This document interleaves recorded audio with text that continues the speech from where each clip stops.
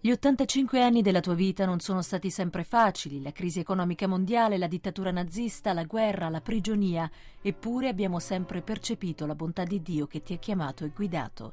Le note della commozione e dell'affetto si sono impresse sul pentagramma dei ricordi ieri per Benedetto XVI, alla fine del concerto offerto dall'orchestra e dal coro dei Regensburger Domspatzen in onore del fratello Monsignor Georg Ratzinger, maestro di cappella emerito, protonotario apostolico, nella ricorrenza del suo 85 genetliaco. Nella suggestiva cornice della Cappella Sistina è stata intonata la Zemol Messe di Wolfgang Amadeus Mozart, espressione, ha sottolineato il pontefice, anche della profonda ricerca di perdono e della misericordia di Dio, che poi si tramuta in gioia raggiante per l'esistenza del Padre Celeste. Tanti ricordi affiorati tra le parole pronunciate a braccio in tedesco dal Papa, soprattutto quelli in cui il fratello ha guidato questo coro di antichissima tradizione. In ogni gratitudine umana si cela sempre aspettativa, speranza e preghiera, concluso Benedetto XVI. Per questo oggi preghiamo il buon Dio affinché doni a te, caro Georg, ancora anni buoni in cui tu possa vivere la gioia di Dio e la gioia della musica,